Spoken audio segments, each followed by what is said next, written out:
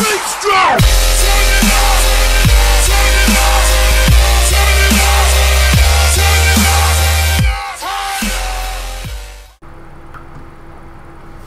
guys, it's JC here, and I'm bringing you another Destiny video. Uh, today we're going to go over what Xur has to offer and his stash of goody goods and exotics. And let's go ahead and get on to it. This is week 103 of Xur, I believe. Yep, yep, it's week 103. Let's see what he's got. So first he's got Emerald Coils, Void Drive, we got obviously the hem Heavy Ammo Synth, the Three of Coins, and the Glass Needles, Motes of Light. And let's see, we got the Imperial Bellicose this week, Graviton Forfeit, Nothing Manacles, and the Universal Remote. Also, the Legacy Engram is going to be the Body Armor, Body Armor Engram. So, starting off with the Titan, the Imperial Bellicose.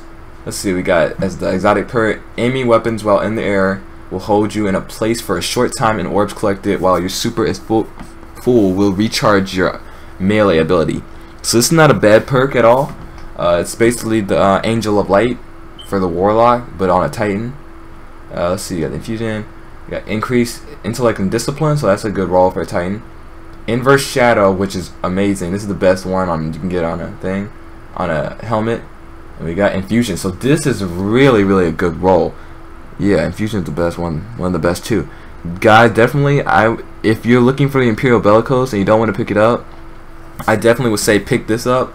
I don't think this is a tier 12 build um, thing, so if you're looking for a tier 12 armor piece, it's not it. But definitely Inverse Shadow, which is the best on helmet, since any kill grants you more super energy and infusion. So this is definitely a good PvE roll, and a it could be used in PvP as well. But alright, so now for the Hunter, we got the Graviton Forfeit. Uh, we got Elusive Shadow, unlocks the Night uh, Stalker subclass node Shade Step for free. So basically, you can run uh, Keen Scout, I believe, Keen Scout, and or Predator without having to do um, without having to give up your shade step for anything. So this is a free shade step. You got intellect and strength, which is not bad for the hunter at all. Got inverse shadow again, heavy lifting, and better already. So two really good last few helmets that we looked at. Two really good helmets. Again, not a tier 12 build, but if you're looking for the graviton forfeit. It's back, and you probably it's probably gonna be a big role in the um, new in Rise of Iron, so definitely I believe you should pick this up um, if you have enough strange coins. If you're saving, then you don't have to, but this is definitely a better one. A really top tier um, exotic, I believe. Alright, so for the Warlock, you guys are getting nothing manacles. I got Discipline and Strength build, and the, the uh, exotic perk is Scatter Charge. Enables tracking for scatter grenades and holds an extra scatter grenade charge. So, energy projection, increased grenade throw distance, gain bonus melee energy on grenade hits, and increased reload speed of auto rifles and reload speed of machine guns.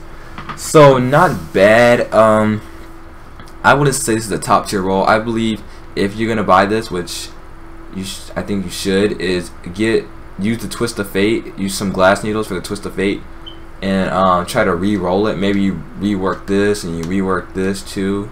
Uh, I would try to look for like uh, more faster attack speed, which is rainbow rainbow speed or something like that. And auto rifle reload is not really that big of a deal. Auto rifles already have a fast reload. Machine gun reloader is not bad. Machine guns do have a slow reload, so that's not a bad one. But I probably use it on hand cannons, shotguns. Look for that kind of reloader that you would use more regularly, often.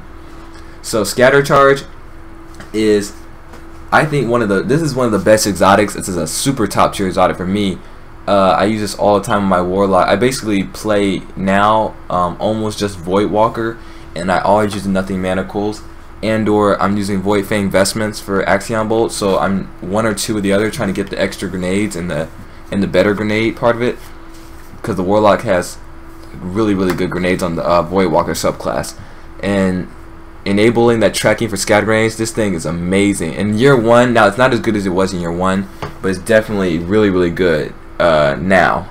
So, it's still really, really good now. Anyways, let's go to the weapon of the week. We got the universal remote, which is, I don't know what to say about this gun, how it's come up from the bottom.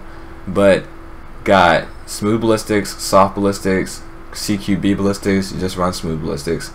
Crowd control, hammer forge, lightweight, snapshot, I say just run Hammer Forge because you know how much range means on a shotgun. And the exotic perk, Universal Remote, range and precision damage increases greatly while aiming down sights. So this is a really, really good one. Um, I say this is really, really good in PvE and really, really good, obviously, everybody's seen in PvP. This thing can be a record. Now, in year one, this really wasn't used that much since it was the Thorn, the last word meta. Uh, it, up close, the last word dominated.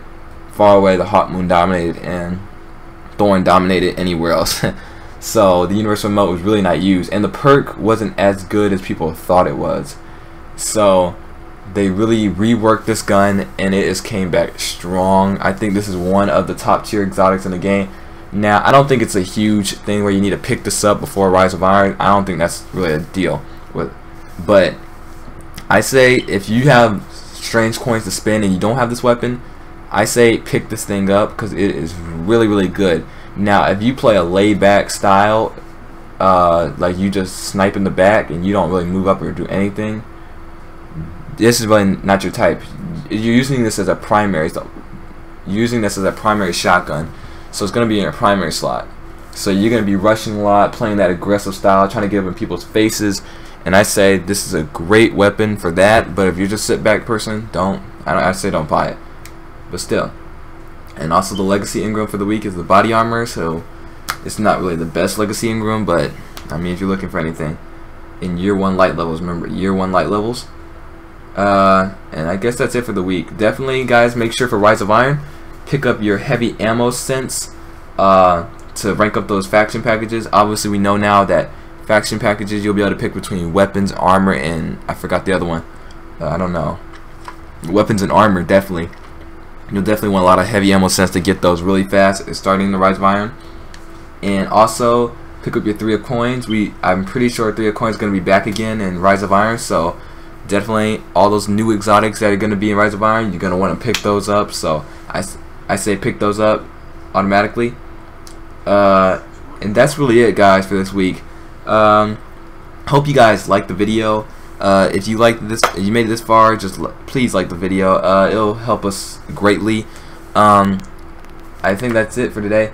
But definitely like and subscribe to JC Gaming. Uh, you guys know what to subscribe to and thank you for the video. I'll see y'all later.